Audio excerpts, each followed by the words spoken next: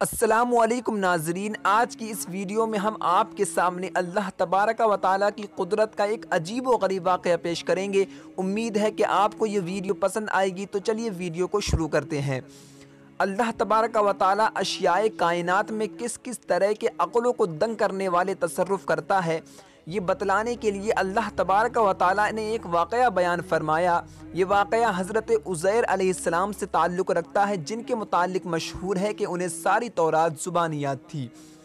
بخت نصر نے شام پر حملہ کر کے بیت المقدس کو ویران کیا اور بہت سے اسرائیلیوں کو قید کر کے اپنے یہاں بابل لے گیا۔ تو ان میں حضرت عزیر علیہ السلام بھی موجود تھے۔ کچھ مدت بعد رہائی ہوئی اور واپس اپنے وطن آ رہے تھے کہ راہ میں ایک اجڑا ہوا شہر دیکھا جو بخت نصر کے حملہ کرنے کے نتیجے میں ویران ہوا تھا۔ اسے دیکھنے کے بعد حضرت عزیر علیہ السلام کے دل میں یہ خیال آیا کہ اللہ تبارک و تعالی اب اس وسطی کو کب اور کیسے آباد کرے گا۔ اس وقت آپ ایک گدھے کے اوپر سوار تھے اور خورد و نوش کا سامان آپ کے پاس موجود تھا۔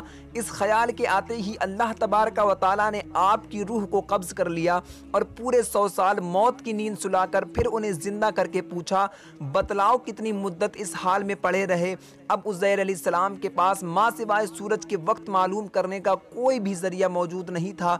جب جا رہے تھے تو پہلا پہر تھا اور اب دوسرا پہر کہنے لگے، یہی بس دن کا کچھ حصہ۔ اور یہ بھی ممکن ہو سکتا ہے کہ یہ دوسرا دن ہو، کیونکہ اس سے زیادہ انسان کبھی بھی نہیں سوتا ہے۔ اللہ تبارک و تعالیٰ نے فرمایا، دیکھو تم سو سال تک اسی حالت میں پڑے رہے، جب حضرت عزیر علیہ السلام نے اپنے بدر اور جسمانی حالت کی طرف دیکھا اور اپنے سامان خورد و نوش کی طرف دیکھا، تو آپ کو ایسا معلوم ہوا کہ یہ وہی دن ہے جس دن آپ پر نیند تاری ہوئی تھی۔ لیکن جب آپ نے اپنے گدھے کی طرف دیکھا، تو اس کی ہڈیاں تک بوسیدہ ہو گئی تھیں۔ تو آپ کو معلوم ہو گیا کہ واقعی سو سال گزر گئے۔ دیکھتے ہی دیکھتے گدھے کی ہڈیاں جمع ہونے لگی اور ان پر گوشت چڑھ گیا اور اس کے بعد میں پورا گدھا تیار ہو کر کھڑا ہو گیا۔ اس طریقے سے حضرت عزیر علیہ السلام نے اللہ تبارک و تعالیٰ کی قدرت کا ایک عظیم واقعہ اپنی آنکھوں سے دیکھا۔